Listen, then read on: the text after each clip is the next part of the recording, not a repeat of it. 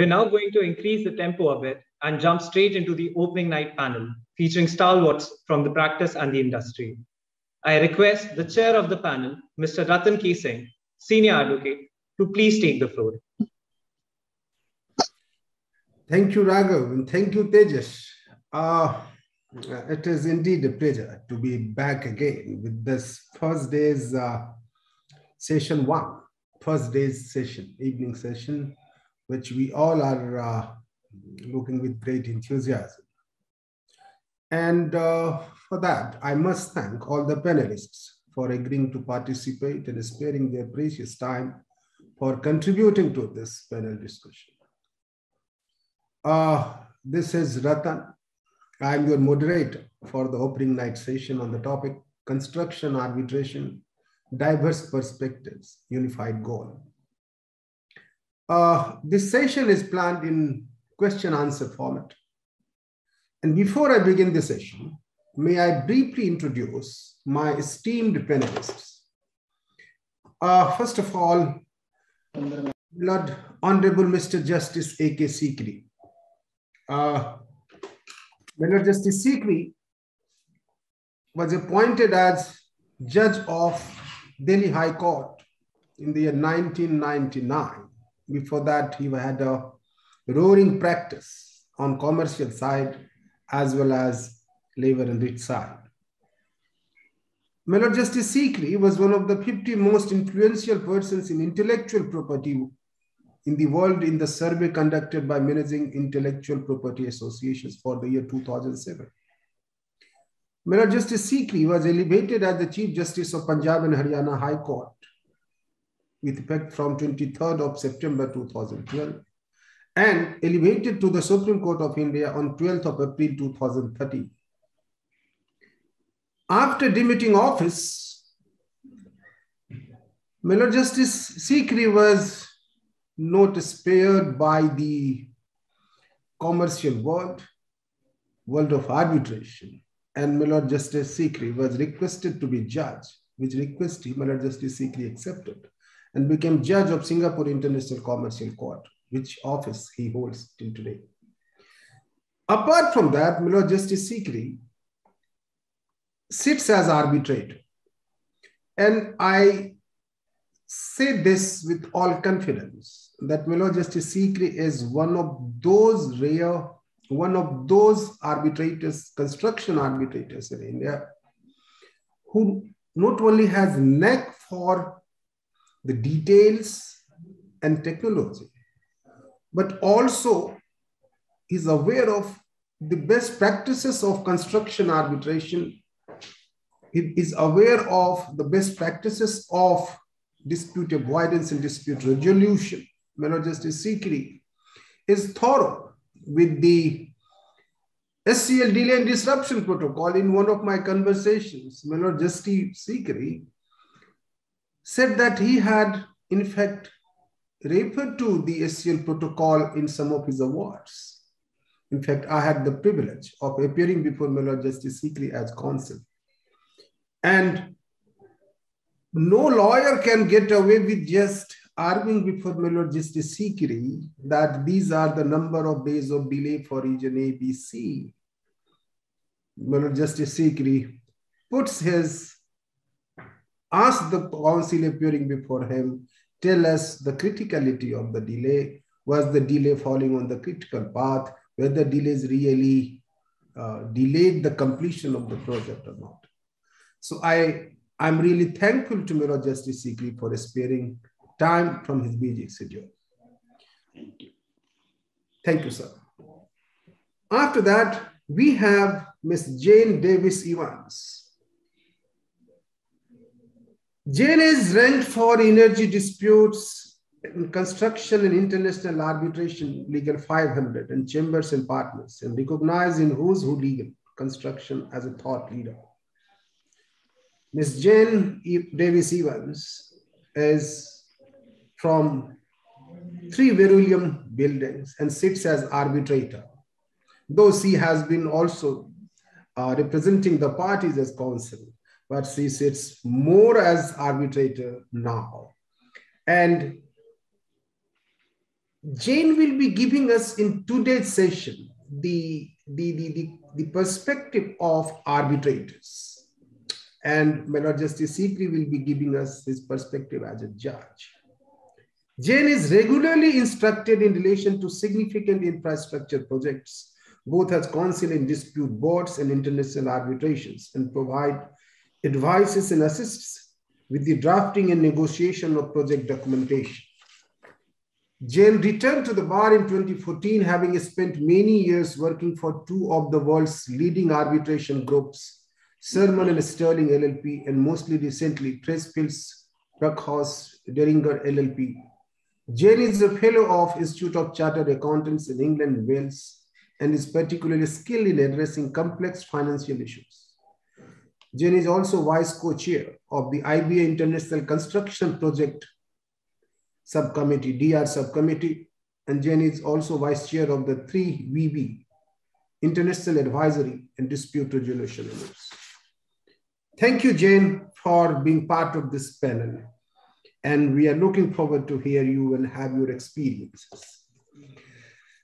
Uh, we have Julian Bailey, partner of White and Case. Julian Bailey, solicitor and partner at White and Case, London. He has been featured in Who's Who Legal Future Leaders 2018 as excellent and key player in Qatar, noted for his impressive intellect as well as his considerable activity in market. He is a visiting fellow at the Dickson Poon School of Law, London. Is adjunct professor of law at Hamad bin Khalifa University, Doha. He was chairman of the Society of Construction Law UK for the year 2015-16, and he is the author of Construction Law, third edition 2020, published by London Publishing Partnership. Before I move on to the next speaker, I must say, I am a big fan of Julian.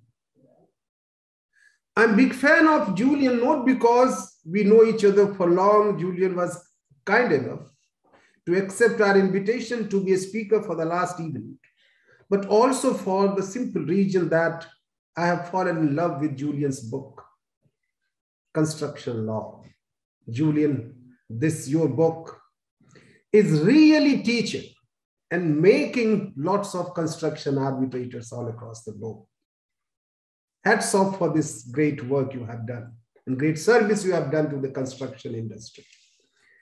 Now we have Last but not the least, Mr. Rajbeer Sachdeva. Rajbeer Sachdeva was kind enough to accept our invitation for being part of this session to share his experience and thought from the perspective of consumer of arbitration and construction arbitration. Rajbeer has 30 years of experience as corporate lawyer he has extensively worked in domains of merger and acquisition, competition laws, IPR, real estate, real estate, infrastructure, arbitrations in India and abroad, and his experience in IBC. Mr. Sachdeva was previously Senior Executive Director and Group General Counsel of DLF Limited, one of the real estate magnate in India. Mr. Sachdeva is with us to share his experience. Vast experience, I would say, as in-house counsel and as the disputant and as the consumer of arbitration. With this introduction of my esteemed panel, I now commence the session with the first topic of the session, and that is quality of decision making and expectations from the process. And to start the conversation on this topic, interesting topic, may I start with Melod Justice Sikri. So you have served as a judge for many years and continue to be a judge and continue to judge as judge of Singapore International Commercial Court, judge as the arbitrator and decision maker, I would imagine that you have had to review over hundreds of arbitral awards. In setting aside or annulment proceedings or enforcement proceedings during this period. What would you say, sir, are the characteristics that separate the quality awards from the mediocre and average ones? Obviously, the context would be construction awards. May I request you to kindly share your thoughts on this, sir? First of all, thank you very much, uh, Ratan Singh, for your generous introduction. I don't know whether I deserve it or not, but uh, my I profusely thank you for that. And uh, I also am privileged to be in this panel where uh, three other panelists who are uh, experts in their respective fields. Yes, who doesn't know Julian or Jane? I have not met Julian earlier, but yes, I have also known him through his books, and it is lying here also with me. I keep reading it with interest. And uh, uh, you have said a lot about Jane and Sachdeva also have known him a bit. So I'm in August company. I must, uh, uh, in a way, thank myself that uh, I have got this opportunity. Uh, you have given me the role in this panel uh, as a the, the, perspective of a judge, how we have to. so that therefore, I would be speaking from that angle. Of course, before becoming judge, I had the experience as a lawyer also. And after uh, demitting office as the Supreme Court judge, I am working as arbitrator as well. But yes, coming to the question, uh, uh, let me uh, tell you, uh, we know now, uh, and it is an acceptable norm, whether it is domestic arbitration or international arbitration, that the arbitrators are supposed to pass reasoned award we had that regime under our 1940 Act, Arbitration Act, where the awards could be non-speaking. And uh, unless the parties in their arbitration agreement said that it has to be a speaking award. So if when the award has to be a speaking award, so I feel, yes, they are, the arbitrators are still not supposed to, uh, I, I, mean, act as judges, the way judges uh, write their judgments. But yes, the basic features which a judgment contains are supposed to be in the uh, uh, uh, award as well when we talk of quality awards. And what we find and uh, what we want to find in a particular judgment and likewise in the award and more particularly when it comes to construction award that whether the uh, award reflects that the arbitrator or the arbitral tribunal has understood the case of both the parties, which is stated therein and which is reflected in the award, and what are the areas of differences or disputes, whether they are properly demarcated, and there is a good um, uh, analysis on facts when the findings uh, are to be arrived at, where the disputed facts are there, and on what basis the legal issues are analyzed. And from the reading of the award, this is what we uh, expect in judgment, the same thing we expect uh, in the award. So from the reading of the award, we are able to find out that uh, the, the, award contains all these things. And it is, of course, uh, and uh, if I may say so, award of it, if it is challenged, it comes to the court or it and it's an uh, it is to be enforced and in that sense it comes to the court courts uh, are seized of uh, that award in one form or the other. But primarily that is meant for the parties uh, because it is the parties who are involved in that dispute and the uh, award is given. So it should be for the benefit of the parties and they have been able to understand. So it should be therefore very clearly all these aspects have to be stated. Now, having said so, and uh, uh, uh, if I may come to when we come to the, I mean, construction arbitration, two or three main aspects. that there's some special or peculiar features of the construction arbitration. And it is in a way it has become very highly technical because of the complexity of the issues which are involved and uh, it depends upon uh, the kind of so first of all the construction of the project a project which was involved that itself may uh, uh, uh i mean require some kind of expertise. And even in the construction it may be uh, depending upon what kind of construction project it was the niceties or the nuances would be there. It may be a shipbuilding contract, it may be oil rigs uh, construction, it may be buildings, buildings may be hospital, it, it may be uh, theater, it may be hotel, uh, it, it, it may be construction of a township, it may be national highways or state highways as Mr. Gadkari was talking about. So therefore, the nuances in all these kinds of different kinds of uh, uh, uh, projects which are there would be different. So whether the arbitrator, the award reflects that the arbitrator has been able to understand the niceties of uh, that particular construction and is able to deal with that. And what I have found, if I may say so, in particular, that there are two, and one, one you have yourself uh, spoken, uh, the, the two or three aspects which always come because we have seen in the construction and, and that is the main reason which leads to the uh, litigation also we have seen that in most of the construction uh, projects the projects the time which is there in the contract which is always we start with and the provision in the contract is the time is the essence of the contract but in more than 90% of the projects at least that is my experience in india and it may be elsewhere also the times are overrun, time limits. So therefore delays take place.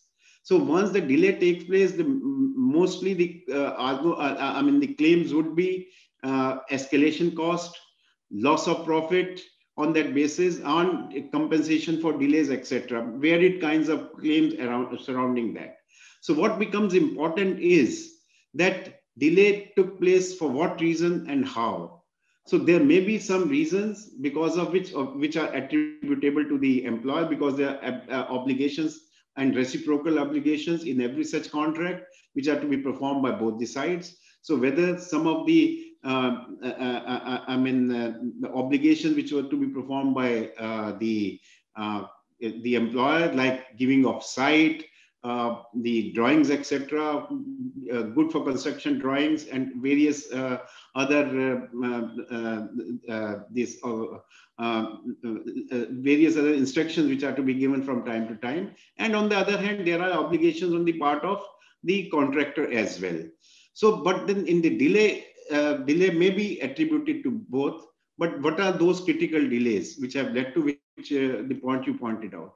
I have seen, and if I may say so now from my experience, and that is where the, uh, the, the, the, quality award gets separated from mediocre award. Many times, this delay analysis is not undertaken in the fashion it should be taken. And uh, therefore, on that basis, uh, uh because from delay and how much is the critical delay attributed to whom, because second aspect would be uh, determined thereafter that is of the compensation etc all those kinds of uh, compensations which are and the quantification thereof that question would arise. So insofar as this is concerned the delay analysis many times i have seen in the awards it is not there I have seen in many times that if some of the fault may lie, uh, and I'm talking in the context of uh, uh, domestic arbitration, that uh, uh, experts, delay experts have not produced. So therefore, it is only on the basis of uh, the documents, some um, submissions are made by both the parties. And so critical delay analysis is not taken up. And the second, so therefore that is one where it may make a difference between a good a quality award from, from a mediocre one. And the second aspect which follows from this is about the uh, uh, quantum of uh, this compensation. We know that, uh, uh, as you have mentioned about the SCL uh, document, SCL protocol, and it mentions about various kinds of um, this delay disruptions methodologies nobody most of us have not uh, or in india have seen that they don't know which is to be applied at what stage neither the lawyers are helping nor the uh, arbitrator is pointing out. Same thing applies, I have seen when we come to the quantification of these damages. We know that, uh, and it is in the judgments also, it has been mentioned, we know about McDermott judgment or uh, the uh, uh, uh Kailashnath associate judgment, that Hudson formula, Emden formula, or Eichleay formula, which are mentioned therein. But which formula to be applied under what circumstances and which would be apt? Many times there is not much uh, a discussion or a quality discussion on that. So therefore, I would say the, these are some of the aspects which would, uh, uh, uh I mean, uh, separate a quality award from a mediocre award. At the end, I may say this as, a judicial review, when you're sitting as judge, you are not sitting as the appellate authority. You can't interfere with the award merely because you think that the award is wrong. Yeah, it's, it's a, a judicial review is very, very limited but at the same time, the task of a judge may become very easy if all these aspects are taken care of by the arbitral tribunal in the award. So that is what I would like to, uh, that would be my answer to your question. Yeah. Thank you, sir. Thank you very much uh, for giving a brief idea about what distinguishes the quality awards with the mediocre and average award. Now, moving over to Jane, who will bring us the arbitrator's perspective. To my Lord Justice Sikri's comments. Uh, what can an, Jane, my question to you is, what can an arbitrator do to ensure that the award is as accurate as can be and what, your, what are your expectations from counsels in contributing to this? And after you are done with the answer to this question, I have another question, which is a follow-up question from Miller Justice Sikri's statement that in most of the cases in India, unlike other jurisdictions, Parties do not cite experts, particularly delay experts. So we would also like to know from you how you as an arbitrator would decide a delay dispute brought before you in an arbitration without there being any assistance of the report of a delay analyst. So for you, you have two sets of questions. You can start with your the first and then follow up with the next. Thank you, Ratan. And if I can second um, the thanks for your kind introduction and also to the SCL of India for inviting me to speak here today. I'm delighted to join you and hope next year I can come and join you in person. Sure. So what, what makes an accurate award? I mean, for me, one of the most important things is do not underestimate as an arbitrator how long it will take to write. A, a, rushed award is less likely to be accurate. And certainly, how I do that, um, and I learned from other very eminent arbitrators, is to write as much of the award in advance of the final hearing as possible. So, all of the procedural background also i find writing the summary of the uh, of the party's written case beforehand that really help it helps me understand and it helps me be i think more effective at the hearing. But it also means that when i get to writing the substance after the hearing on merits that i can really focus on the substance itself so that the time I've booked in my diary for writing up the award, I can focus very much on, on the hearing and what I've heard at the hearing because the other bits I will have already written up in advance. Also, when you ask me what can counsel do, um, I I'd say three things that counsel can do to help the award be as accurate as possible. And the first one is this, that, and I still practice as counsel as well. And I think that as we all know that as counsel, we want to present our, the material that we're relying on in the most positive way for our client's case. And but there's a line between doing that and actually misrepresenting the material, be it the evidence, be it what you've said previously, what the other side's saying, or, or what a, a law report says, what a decision says.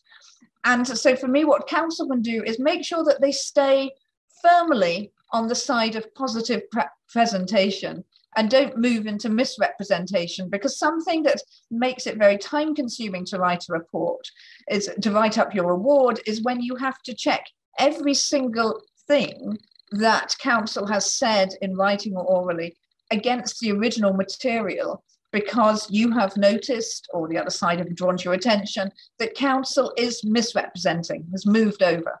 And so it means you can't, to make sure that you are accurate, you have to go back to the source material for absolutely everything. Um, so that that's important.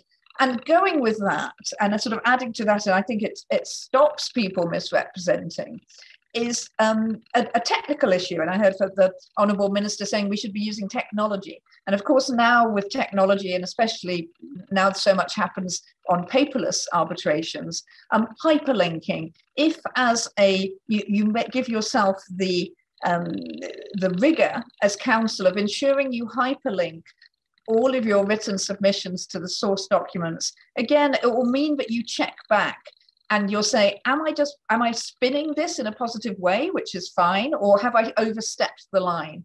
It makes it easier for the arbitrator to then follow what you're saying when they're writing their award to check back themselves. But it also, I think, helps moderate counsel's behavior as well, because it's harder to say this document says black if it clearly says white and you've got a hyperlink to it showing that you can immediately in one click see that it says the opposite of what counsel has said.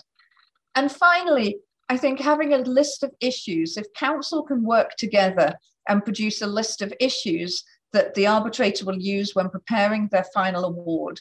Again, that is really helpful and will help the accuracy of the award. But again, I'd say as counsel that that list has to be reasonable. It helps no one, not least counsel's own clients, if the list of issues has got four, five, six hundred issues and sub issues on it. A clear sort of short list of issues of maybe 20, 25, 30 issues. And I've been in working as counsel in arbitration when in arbitrations where we're fighting over billions of dollars in some of the most complex projects that have been built. We can still, if you're sensible, get your list of issues down to a manageable level.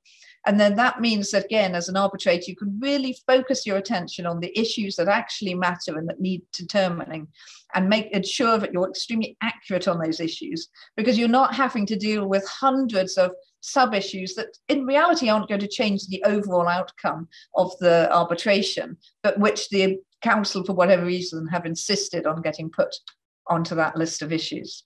So those were my my sort of three things that I thought um, can help with the accuracy of the arbitration award.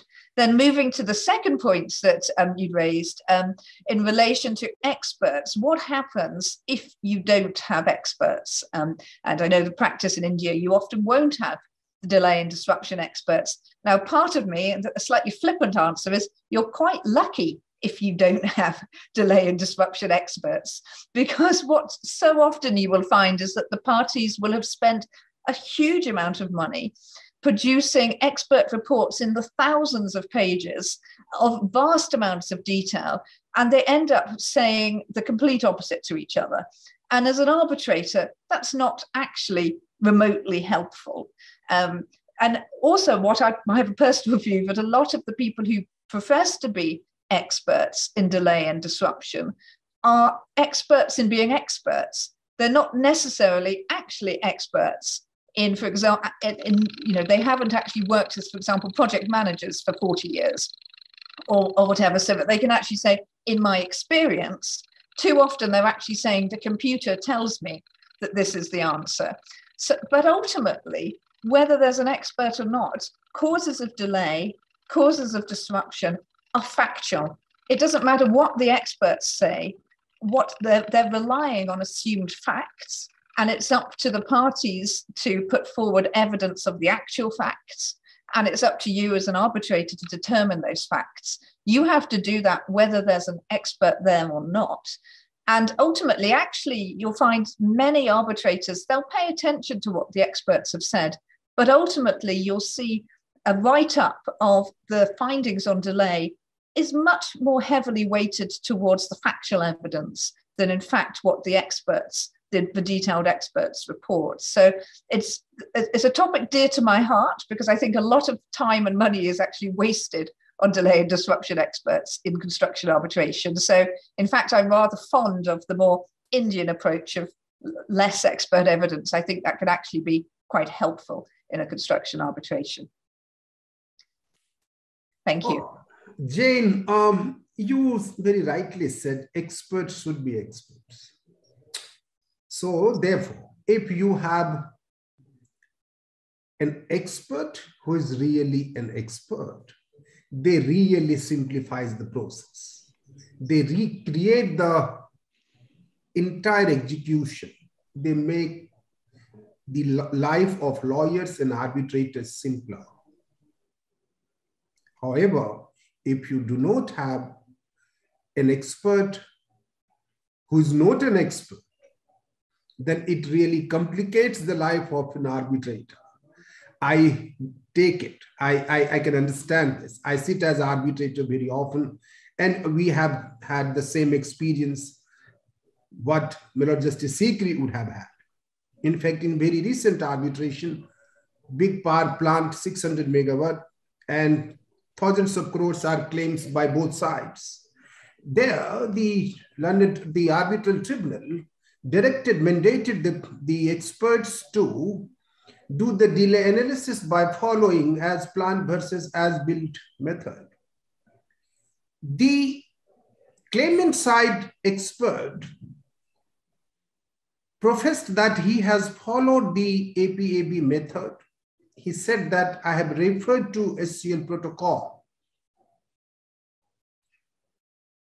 However, I asked one question. How have you analyzed delay impact? He says retrospectively. And this is what SCL protocol says. My next question was, how did you determine critical path under this APAB method? Did you follow contemporaneous method or retrospective method? And what method did you adopt? And he says retrospective method. And that was the funeral of that entire report because SCL protocol also recognizes when it comes to APAB method, critical path determination has to be contemporaneous. And so therefore, either in the enthusiasm to advocate the case of a pointing party or because of unawareness about the methods, whether it is SCL protocol prescribed method or AC, one should be really an expert, as you rightly said, Jen, expert has to be an expert. Uh, now, moving on to Julian, who has been listening to us for long now. Julian, after hearing the judge's perspective, arbitrator's perspective, now let us turn the table around and understand from you what you as counsel expect from an arbitrator. Th thank you very much, Ratan, uh, and thanks for the, the, the kind uh, plug for my book, and, and, thanks also to Justice Sikri for doing so as well. Um, look, from counsel's perspective, I, I, don't think there's a huge amount of difference between uh, the perspectives of the arbitrator and of the, the judge in the reviewing court in terms of what we look for in, in an award. Um, where an, an, award is required to be reasoned, the main thing is that the award contains sound reason so that um, the, the, the, party who loses on a particular issue or issues understands why. I think it was Lord, Lord Denning, a, a gentleman who's probably well known in, most parts of the con, con law world, including India. He said the most important person in the courtroom is the person who lost because they need to understand why, why they lost. So, so an arbitral award should follow that principle and therefore set out what the respective arguments are. Uh, it should then engage in a process of reasoning going into the competing arguments, identifying why one argument is preferred over another. And then, of course, the conclusion flows from that. And if after that, the, the, the losing party on the issue or, or the case is able to say, okay, I can see the arbitrator heard my argument. We, we lost on the point. I can understand why. Um, then the award has, has, has done its job in that respect. And that's what we're all looking for, whether as counsel or I suppose even as a party as well. We'll hear more about that in, in a moment. Um, the other thing I'll mention uh, as well is it's not just about the, the reasons in the award. Timing is absolutely key here as well. And, and I think, as, as, Jane was saying, you don't want to have a, an award that's generated too early, where not enough time ha, has been allowed to consider the issues. But on the other side, um, what is, not uh, helpful at all is where an award is, is issued many months or even years sometimes after the, the hearing on, on, the merits. So, so I think timing is absolutely key here. And, and one of the key duties and functions of, of an arbitrator is, is to act in, in, a diligent way. And that, that includes um, not only, of course, setting aside time for the hearing itself, but then post-hearing, setting aside time for, for award writing. So there must be that, that, that, that time period allowed. And, and that time period can't be months away or even years away. It should be close to when the hearing has taken place. So, so the ideas are still fresh in, in the arbitrator's mind. So those are my thoughts. Thank you very much. Uh, thank you, Jay. And now uh, I move on to Rajbeer, uh, who is an experienced in-house counsel. So may I request Rajbeer? Uh, know that you, we have heard perspective of judge, arbitrator, and counsel. Let us understand the consumer's perspective. Rajbeer, can you tell us, as in-house counsel, what do you expect from a counsel you engage the arbitrator, and also the courts acting in support of the arbitration. Over to you, Rajbeer. You are muted, Rajbeer. You are muted. You are on mute.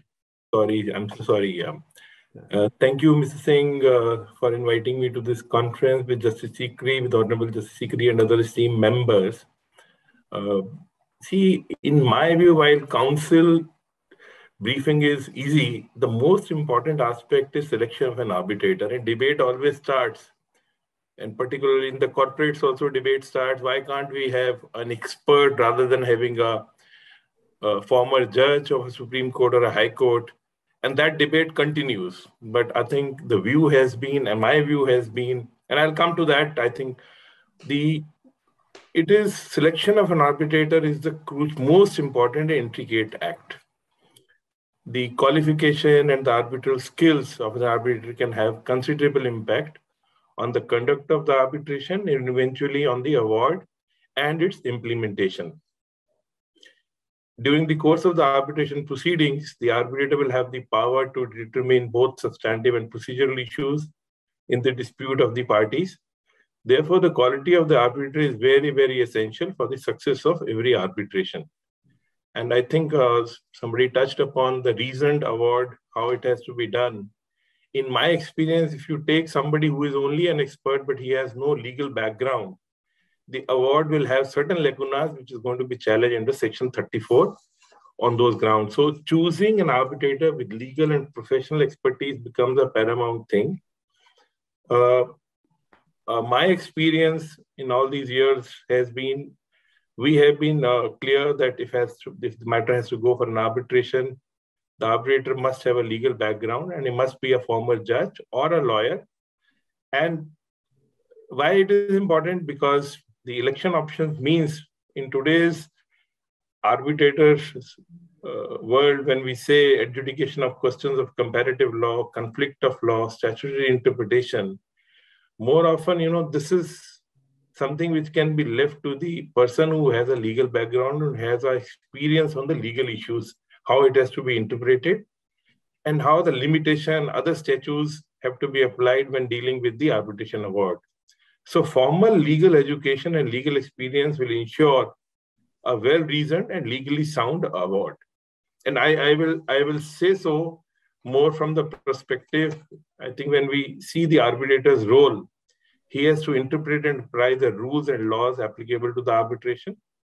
He also has to manage the scope of discovery, which is most of the time is undertaken by either of the parties or by both the parties. Conducting the arbitration hearing in which both sides of dispute may submit testimony, and therefore conducting the arbitration is not an easy task unless a person has been a former judge who knows how to manage both sides, it becomes difficult. So while while we say that there should be a technical person, a person who has an expertise or who is having an engineering background can be an arbitrator, but I think we as you know corporates, we have been limiting that particular person to call him as an expert witness as and when uh, there is a need or requirement for our arbitrations. So uh, I think the making the decision which is resolving the dispute based on testimony, evidence, and arguments submitted by both sides, and then appreciation of that evidence is something which I think only a former judge or a lawyer can do it. That's that's my take, and uh, uh, uh, we have been into this aspect. Let's say the preliminary issue. Sometimes you raise a preliminary issue. So at the stage when the arbitration is started, you have to have a deal with the preliminary issue. If you don't have a former judge or a lawyer, it is very, very difficult how that preliminary issue will be dealt with, whether it has to be seen at the preliminary stage, whether it is a limitation or otherwise, or it should be left to the stage when the final decision will be taken. Document protection. Now, this is also particular importance because complex arbitrations, which involves claims and counterclaims, document protection becomes essentially important at times when those documents are not there. So it's often a challenging and time-consuming aspect of any arbitration. Given the large universe of documents that are typically in issue, the parties consider how to manage the documentation and only arbitrator can think of how it has to be done during the life of the arbitration and at the final merits. Lastly, record keeping and claim presentation. Record keeping becomes very, very important because chronology of events, those are something which have to be kept in mind during the arbitral proceedings and what happened in what sequence Uh, you know the parties came and brought those evidence and what arguments were tendered in the facts of each case that becomes very, very important at each stage when the final decision is given. Lastly, the claim presentation. So there are tables that summarize the position of the parties or the experts on different heads of claims. And sometimes it leaves space for the tribunal to record the decision on each issue. So unless the arbitrator has a legal background and he has dealt with these issues, uh, the arbitration uh, finally award, which is arbitration award, it may suffer from being not a reasoned award. That has been my uh, experience so far in last couple of years in arbitration, both India as well as international arbitration. So uh, the, while, while this debate continues, we have been keeping the experts as expert witnesses in order to bring certain issues when those documents are required to be proved or expert testimony is required to be tendered. But as far as the arbitration, uh, you know, the arbitrator appointment is concerned, we have always been uh, clear whether it is appointed by the parties or it is appointed through the court intervention. We have been requesting uh, the honorable courts as well as the other parties, let it be an arbitration through the retired former Supreme Court judges, if it is a large uh, amount involved or it's an intricate issue, or at the best, then the High Court former High Court judges. Uh, thank you, Rajbeer. Uh, but difficulty for me now is that you have touched upon most vexed question, an ongoing debate for the construction arbitration world. Which of the two, whether the non-legal engineers architects or quantity surveyors are best suited as arbitrators for construction arbitration or the lawyers or the judges are better than or appropriately suited for this. Historically, construction industry has preferred to go to arbitration for resolution of their disputes. Historically, the in initial days, engineers or the architects or the quantity surveyors used to decide their cases by going to the site, visiting the site, telling the parties, calling the parties, and at the site and used to decide. Then, God invented lawyers. So came UNCITRAL Model Law, 1996 Act, New York Convention. All of this brought into the element of one aspect that arbitrators should give reasons and should follow substantive law. This is where role of lawyers and judges came in as arbitrators. And now we are globally, we are in the regime of, we are all model law countries. So arbitrator is supposed to follow the substantive law to larger extent and are supposed to give regions.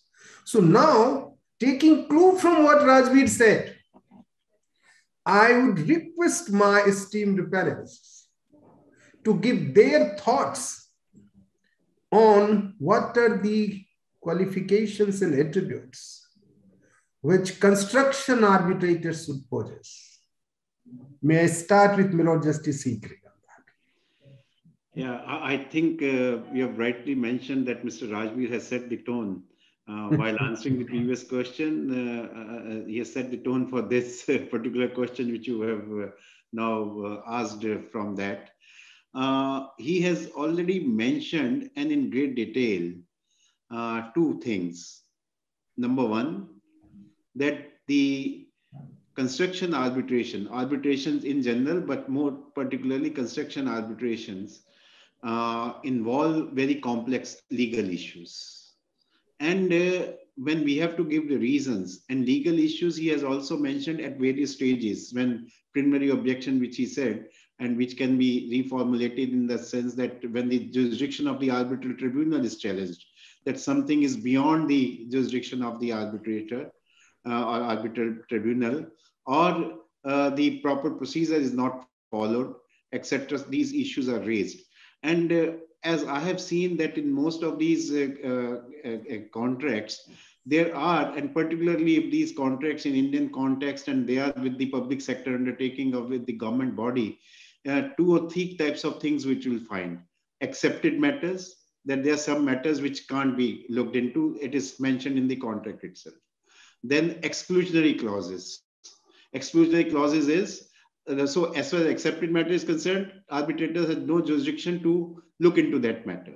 Now, exclusionary clauses is that if this, like I gave the example of delay, if delay occurs, the clause would say the uh, uh, due to the employer, contractor will get a suitable extension, but no compensation.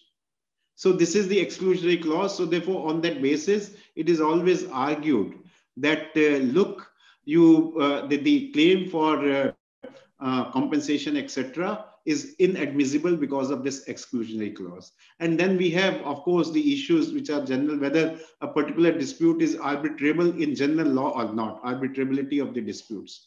So uh, now all these aspects are purely legal aspects. And as uh, Mr. Rajbeer said, that we need legal experts to decide these cases. And uh, even when this question comes of the jurisdiction and uh, the, uh, recent Supreme Court judgment uh, in 2019 uh, of Indians very clearly says, and Section 16 application is filed, it is for the arbitral tribunal to decide the application at that stage, or if it can't be decided for some reasons, uh, evidence, etc., is required to defer it at a later stage or at the final stage. Now, this expertise, at what stage it should be decided and what should be decided, coupled with the fact that when the order is passed, the kind of order, reasoned order which is to be passed, which should stand the judicial scrutiny, that can be there. Uh, uh, uh I mean, uh, uh, uh the, the, so the, therefore, acumen of an expert who has the legal expertise would be required. At the same time, on the other hand, we know as uh, I said earlier also that most of these uh, uh, construction contract have engineering and other technical aspects, which the civil engineers or other engineers would be knowing better. It, the the, the lawyers, the main reason why these cases should go to arbitration and not to uh, should be fought in the court. Apart from the uh, that uh, time and uh, cost, uh, reason for cost effectiveness, and it should be decided early. Another reason is that okay, depending upon the nature of the dispute, the technical nature, the parties would be in a position to uh, select a person as an arbitrator, either nominee arbitrator or presiding arbitrator, of, or he's going to be sole arbitrator, a person who has some expertise in the field. So therefore, this uh, brings about some kind of uh, dichotomy that on the one hand, for such cases, we need experts who are technical experts. And on the other hand, because of the complexities of the cases and which may involve very technical legal issues, we need, need legal experts also. So what I would say that uh, the, the, the uh, if the person, yes, legal expertise, if it is uh, in the sense that uh, uh, a, a, person who is appointed, if it is a sole arbitrator, problem may be there. If it is a, a tribunal of three members, it can be resolved to some extent by nominating uh, a, a, a, person who is a, a, legal expert and other nominee may, may be uh, a, technical expert. And even if the two parties have nominated from one field, say both legal experts, they can uh, appoint a presiding or chair who is a technical expert or vice versa. So that problem can be solved. But having said so, what I would say that need is there if there is a person who is a legal expert, like suppose in the, uh, I think we all of us fall in that category, we have to have some expertise on the other side. And a person who is a, a technical expert or engineer, civil engineer, etc. And therefore, uh, then, then they should also acquire some legal expertise. I have seen from my experience that we should not totally discard those uh, uh, experts in the technical field, engineers and others, they may be chartered engineers, they're civil engineers or uh, in any other discipline, those who have acquired good expertise, there are some of them who have acquired good expertise even in le on legal aspects and they are able to handle legal aspects very well. It comes by experience, it may be due to training and many may have done uh, law as well. I remember a, uh, a, a, a, person who was my class fellow in law. Uh, he had started doing law after engineering. Well, his father was uh, uh, practicing on uh, arbitration. So he said that you will be a good arbitrator, you do engineering and you do law as well. But then those would be exceptional cases. And therefore, some to some extent, uh, this, this cross discipline uh, has to be learned on both sides in order to uh, take care of this situation. So these are the some of the quali uh, qualification or attributes. Other thing which I said in the beginning, uh, a good arbitrator, uh, whether he is a legal expert or he is a technical expert, etc. Uh, when we are talking about time, we are talking about cost, we are talking about quality, and particularly time, which Mr. Gadkari, if you remember, stressed so much in his opening address, and how uh, delay, whether it is at the stage of arbitration, deciding the arbitral uh, cases and passing the award, or the enforcement of the award in the court at all levels, how delay can have so much of cascading effect, financial effects, etc. And therefore, uh, the, the how arbitrator should conduct the proceedings, particularly from, we, we can't uh, discuss that in detail, the CMCs, etc., which, uh, but I'm just uh, flagging that issue. That uh, uh, also uh, should be a quality of a good arbitrator, which the arbitrator should learn. that the arbitrator, she should be in control of the process from very beginning. And what the dispute is should grab and grasp that dispute fully from very beginning by asking the parties and particularly when the pleadings are filed. And as i've seen many times the evidence when that is led. And most of the time the evidence may relate to documents or the contents of document which is not required so therefore the arbitrator should have skill to control unnecessary uh, uh, cross-examination, etc., which would uh, save time. So all these are some of the qualities which the uh, a good arbitrator should possess. Thank you, sir. Thank you very much. And I, because of paucity of time now, I'll, uh, without uh, commenting on what Malord Justice Sikri has said, uh, I straight away go to uh, Jane to have her thoughts on this, Jane. So I'm going to take a slightly different view from my, my fellow panelists, and without wishing to do lawyers out of a job, I think that what's the, the most important characteristics and experience for an arbitrator who's sitting on construction arbitration, you definitely have to have an eye for the detail because there's a lot of documents, there's a lot of detail. You have to have patience as well um, but very importantly, you, you need to be decisive. It helps no one if during the many procedural steps you're always trying to find the middle way. That you know, if you, you it's your role as an arbitrator is to sort of oversee the arbitration, not only produce that good quality award at the end, but also to ensure the process is expeditious, it's efficient, and sometimes that will require you to make a decision on procedural issues that one party really doesn't like, but you have to have the confidence and the decisiveness to do that. I actually differ a little bit as on in relation to engineers as arbitrators versus lawyers. I've appeared before and I've sat with some extremely competent engineers who make excellent arbitrators and deal with the legal issues very well. And I think that's particularly true in common law jurisdictions. And I sometimes say this when I'm maybe appearing in front of a dispute board, where you often are appearing in front of our engineers, and they might be worrying about the law. And I say, this is common law. And the common law essentially started historically as reflecting common sense, you know, the, the practice that yes, there will be specifics, little quirks, but it's the role of counsel to tell you about those. And so I think that actually a good, well experienced engineer um, can be a very good arbitrator, in fact. Um, and I would agree also with Justice Sikri I think some of the best arbitrators, and you, we heard from one just now, John Uff, of course, there's Sir Vivian Ramsey, Peter Chapman, there's quite a few, are people who are both engineers and are and, and lawyers. They make excellent arbitrators. I mean, I, I'm an I'm an accountant and a lawyer, so in cases which have very complicated quantum, you know, I find that I often get appointed on those. So there are actually quite a lot of people who are dual qualified and are active as arbitrators, and they can really help.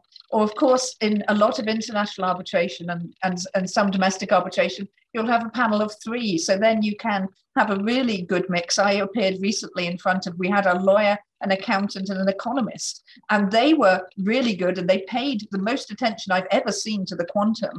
But we got a really good quality award out of them. Well, initially, we were a little bit concerned about the mix for what was a quite a technical construction arbitration.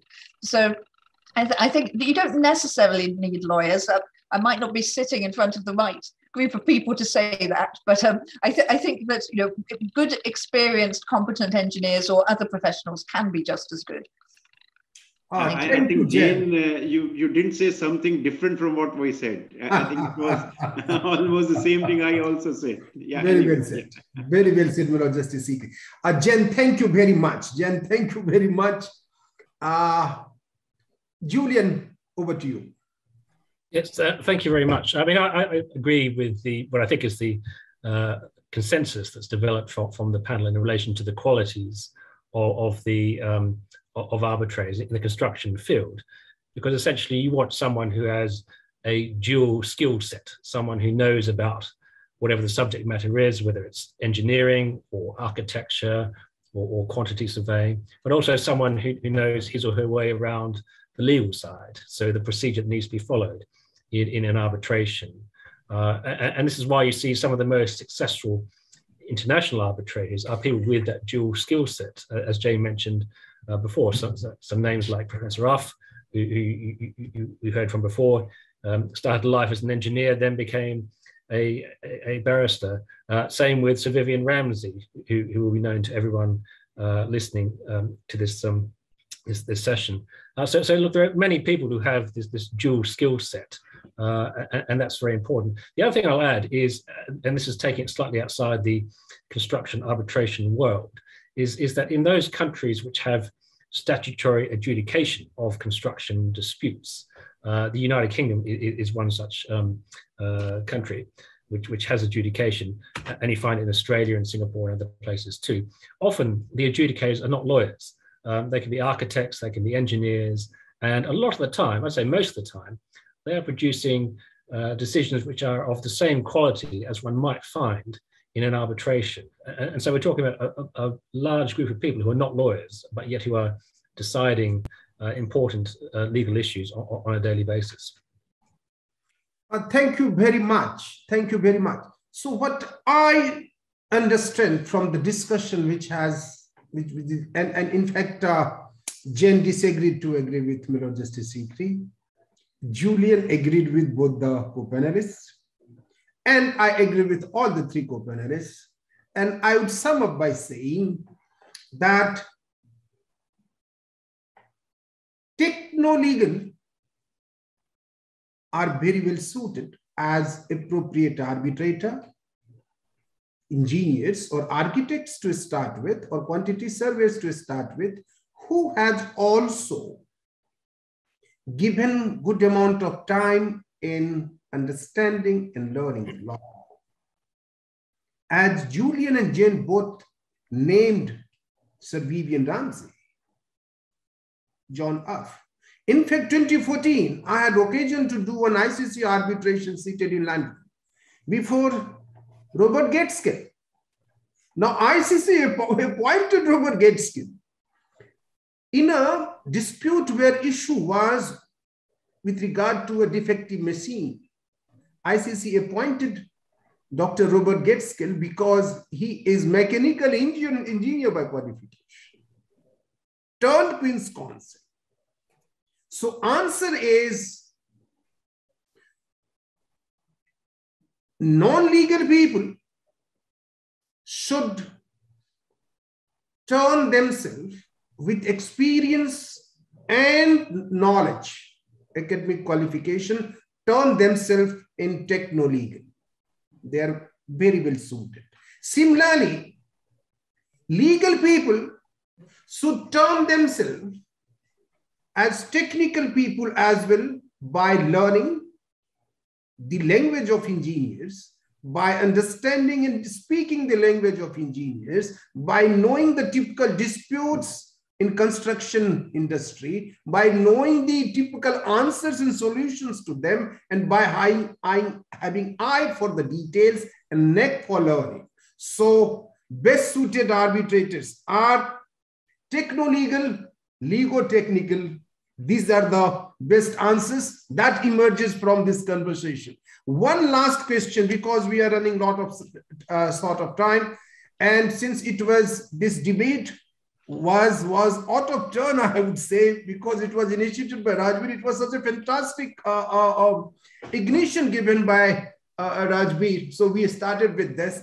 Uh, one question, which which is very important question, which occurs in mind of many many arbitration professionals, is management of records in construction arbitration. If I can request Jane to give say few words on that in brief and then we move on to the last topic and we conclude the session.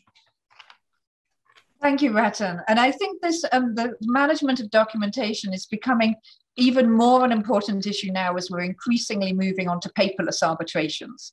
Because on the one hand, that's great. In the old days, I was always surrounded by hundreds of boxes of documents. Now I just have um, sort of a, an extra removable hard drive to cover all the material.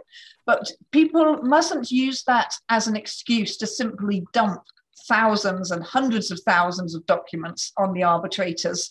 That doesn't help the arbitrators. It largely increases the cost. It makes it longer for the awards to come out. There has to be some rigor as to what material gets put before the arbitrators and how. Now, something that I like doing both as counsel and as arbitrator, though I would say I've only been able to get people to agree to this a few times. It was actually on a very large um, Indian arbitration where my opposing, opposing counsel agreed and it worked very efficiently, um, was to have two sets of core material at the very beginning or very early on. Because if you've got a dispute which is concerning delay and disruption on a large construction project, the reality is that experienced counsel and experienced arbitrators know what documents are ultimately going to be in front of the tribunal. And so, sort of trying to eke them out, maybe one party of reject, you know, resisting document production and things and so to try to make sure that those documents only get produced at the last minute or whatever isn't particularly helpful. So what I try to encourage the parties to do or my opponents to do is say up front, let's agree a core bundle that we will use and we will number and we will reference from the very beginning. It will have the progress reports, the payment applications, the payment certificates. One might have the drawings, the sort of inf- requests for inspections, or you know the non-conformance reports. All those sort of standard documents that you know there's a fair chance a lot of those will be referred to. Putting those all into a core electronic bundle up front also, in parallel, what I try to do is either agree or direct that the experts have a common bundle of documents from the beginning. And so that every time the lawyers make some documents available to the independent experts, they have to upload them onto this database where uh, the other side's counsel and lawyers will also be able to see it. Because again, you'll often see that lawyers sort of dump huge amounts of material onto the expert. The expert then rifles through, decides what they think is relevant, but they've actually seen a much broader range of documents.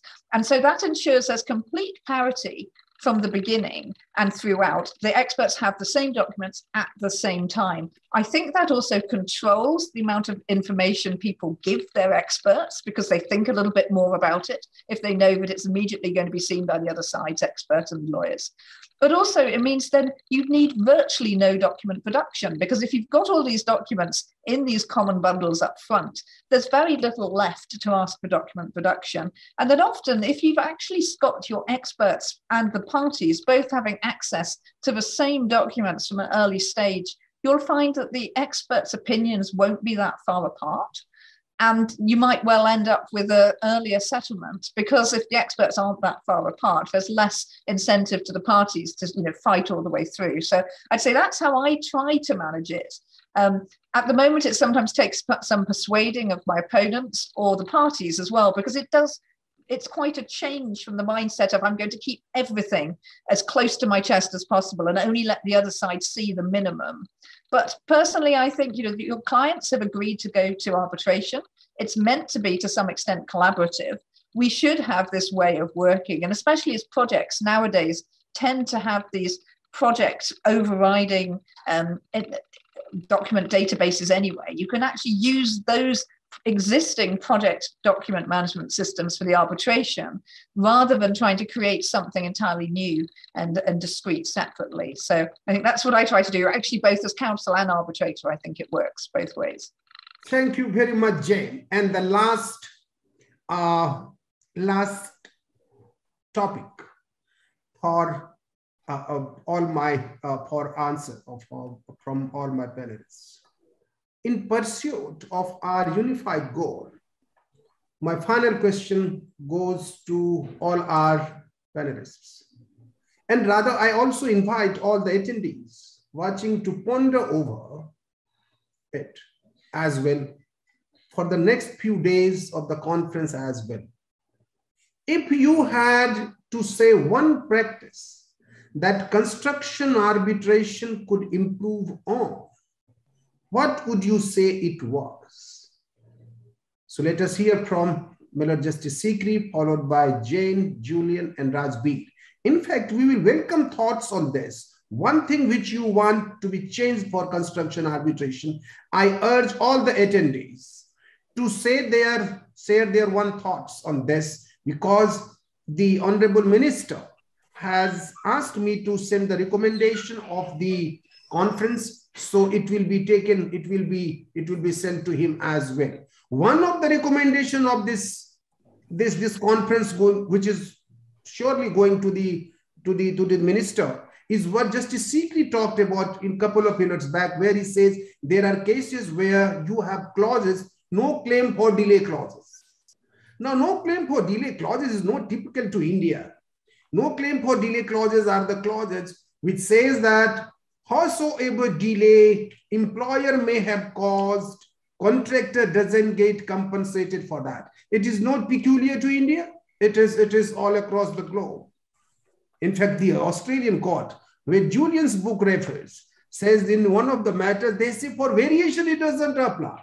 But typically, these kind of clauses are enforceable clauses all across the globe. But this is something I would say it is all about uneven risk allocation. And I'm going to make a request to the minister who had said that in, in my conversation with him, if law needs to be brought in, if law needs to be changed, give us your suggestions. We'll work on this. So now with this, one thought in very brief, may I start with Milord Justice Sikri for his kind uh, word. Uh, thank you, Ratan. Since you are asking only for one thought, uh, there may be so many, but uh, one thing which I would say is that the process of mediation should be very well ingrained into the arbitration system or uh, whether it is uh, Med-Arb or Arb-Med or MEDA, MED, etc., whatever, in whatever form, but it should become most effective tool. And in this process only, when we talk of, we have in our various contracts, I find, uh, this uh, dispute boards, etc., in the uh, uh, resolution clause itself in the agreement provides that before going for arbitration, there would be in-house dispute uh, boards, which may consist of uh, either some high officers or maybe representative on both sides. And of course, it is normally said that the recommendation would not be binding, but they will try to arrive at uh, the settlement, etc. So here I would like that uh, I have seen from my experience, even if when some of the issues are sorted out by uh, such board members or boards, that if it is in favor of the contractor, employer, or the government, particularly when they, they don't agree. If it is in favor of the uh, uh, something is favor of the employer, the contractor will not agree, and therefore ultimately everything lands up in the court or before the arbitration. So what is the use of that? So therefore, there's some sanctity should be uh, attached uh, to these uh, uh, dispute boards who are there and once they decide something and which mr gadkari also said that conciliation committees in nhai they have formed that it would be decided within two months or three months. It may be conciliation it is mediation or an adjudication rather we may call it a neutral evaluation by the board. That should be given due respect. If that is given at the appropriate level much of the disputes would get resolved there and would not even come for arbitration so if you ask me for one, this is what I feel that. Thank you. Thank you, Milord Justice Sikri. Uh, Jane. Thank you. I would say to encourage arbitrators, the parties and their lawyers to work together collaboratively. Your clients have agreed not to litigate and to go to arbitration, which gives you a vast range of flexible options as to how you want the arbitration to proceed so that you can get a quick and relatively inexpensive decision out the way for your clients so they can put the arbitration behind them and get on with their commercial work. Um, it might seem that you're, you're but some people sometimes think it's weak if you collaborate, if you make concessions on procedure and things. But in fact, if you can get the arbitration out of the way and your client can continue with their commercial business, you're doing your client a great service and it's much better than fighting for the, over the tiny issues, you know, for years and years and years. Uh, Jane, uh, you have said something which compels me to tell you that in the next biannual conference, in the first opening session, we are going to have you once again to speak on what you just said, and that is mandate for arbitration does not amount to mandate to go to litigation. Rather, it is a mandate to not litigate. What does it mean for arbitration community? That is an interesting point of debate, can be an interesting point of debate, but we do not have time. We'll reserve it for next biannual conference with you as one of the speakers. Now, going back to uh, uh, uh, Jane on the, the, the Julian on this thanks very much, Ratan. I mean, I think echoing what uh, Jane was alluding to, I'd say what we can improve on is, is cost and time. Construction arbitration costs a lot of money. It can take a lot of time. So what can we do? I don't think anyone's come up with a, a universal solution. But I'll share um, my one and only slide, if, if, if that's okay, which uh, covers this, this, this issue. Can you see that? Do you have that? Yeah, yeah, yeah, yeah. Okay, I good. Can, I can hear you. Can, can you see my slide? No. Okay, let, let me try again. Um, sorry. Uh, there. Okay, right. So, so my, my law firm, White and Case, does a Yeah, survey. yeah, yeah, yeah. We can see Every- that. Great. Every two years with Queen Mary uh, University in London. And uh, users of arbitration get asked lots of questions about what can be improved upon. And I found this in, in the latest survey from 2021. A- a- And so the question is if you're a party or counsel, which the following procedural options would you be willing to do without if this would make your arbitration cheaper or faster? And you can see right at the top, that the thing that seems to have struck a nerve is uh, this one, unlimited length of written submissions. So, so users of arbitration are clearly saying here, if you have uh, if you have no page limit on, on your submissions, uh, on, on your pleadings and so forth, then that is something that can drive up costs. So it, it seems to me if we're looking for um, short-term gains that can be made uh, to, to improve upon the cost of arbitration, that's one thing that can be done. Use page limits. Thank you very much, Jen, for being brief and sharing your amazing slide, which I am in awe of. Now, my last co-panelist, last panelist, Rajbeer. One thought, very brief.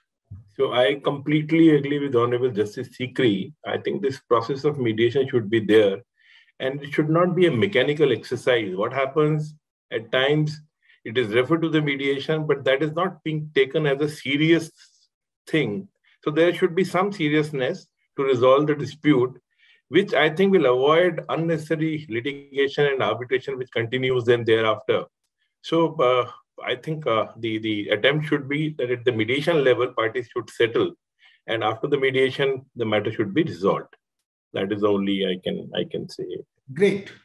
In fact, for construction, for mediating construction dispute, my sense is we need to have trained construction mediators who know the industry, who know typical disputes, and who also know typical answers and have neck for details and knows the tools of mediation. So very well said, Rajbi.